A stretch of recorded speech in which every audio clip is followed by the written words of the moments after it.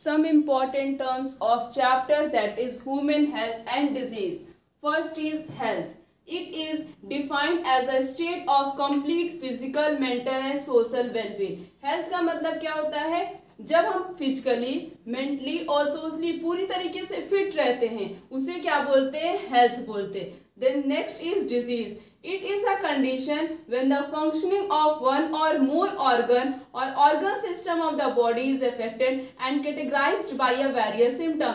हमारी बॉडी का कोई भी ऑर्गन या हमारी बॉडी का बहुत सारे ऑर्गन जो है इफेक्टेड हो जाते हैं।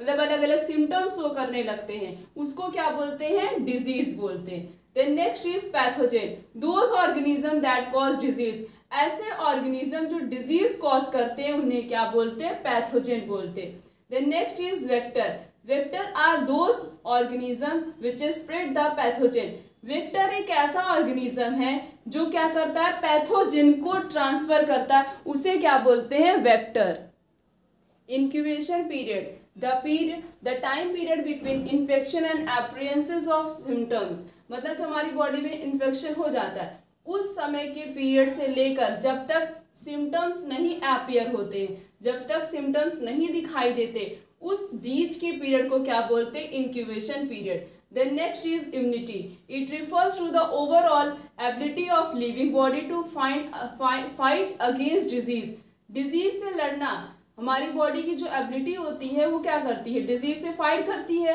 जितना ज़्यादा हमारा इम्यूनो सिस्टम स्ट्रांग होगा, उतनी जल्दी हमारी बॉडी में कोई भी अगर डिज़ीज़ हुई तो वो सही हो जाएगी। तो यही जो एबिलिटी होती है किसी भी लिविंग बॉडी की फाइट करना डिज़ीज़ के अगेंस्ट इसी को क्या बोलते हैं? इम्यूनिटी बोलते हैं। Then next is interferon are interferon क्या होता है? एक प्रकार का ग्लाइकोप्रोटीन होता है। Produce by our body cell in response to viral infection जब कोई भी वायरल इन्फेक्शन हमारी बॉडी में होता है, उस समय जो हमारी बॉडी की सेल प्रोड्यूस करती हैं, उसे क्या बोलते हैं? इंटरफेरॉन इंटरफेरॉन होता क्या? एक प्रकार का ग्लाइकोप्रोटीन है।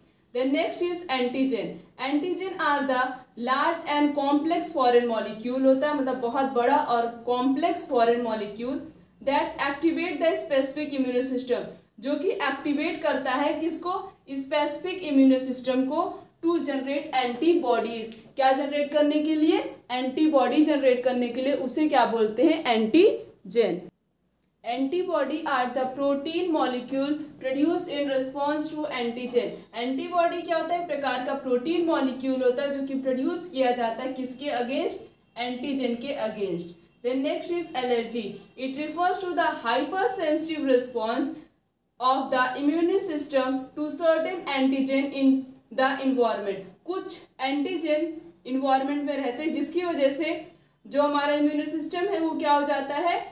हाइपर सेंसिटिव रिस्पॉन्स करने लगता है मतलब चेंजेस आने लगते हैं।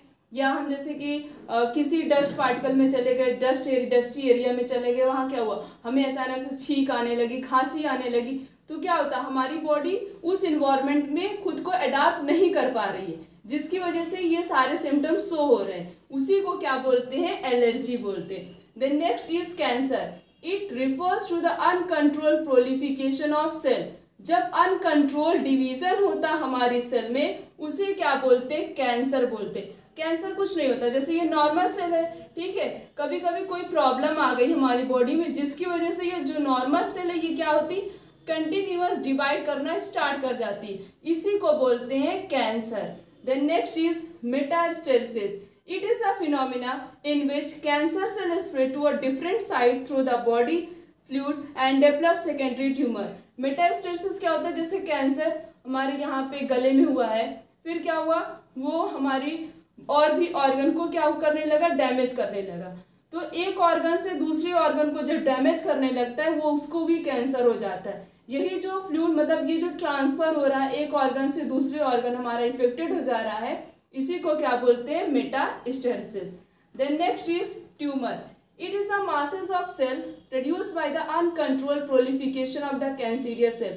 Cancer की सेल जो है, वो लगातार डिवाइड कर रही है। कंटिन्यूस डिवाइड जैसे ये कैंसीरियस सेल लगातार डिवाइड कर रही है और यहाँ पे खूब सारी सेल का फॉर्मेशन कर लेती हैं। जैसे ऐसे मासेस ऑफ़ सेल का फॉर्मेशन हो गया, इस तरह से क्या हुआ? मासेस ऑफ़ सेल का फॉर्मेशन होगा, उसी को क्या बोलते हैं?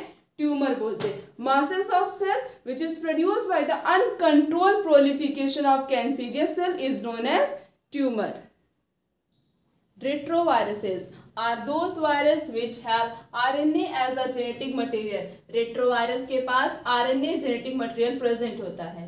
Then but can synthesis DNA on R N A template by a reverse transcripted transcription में क्या होता है?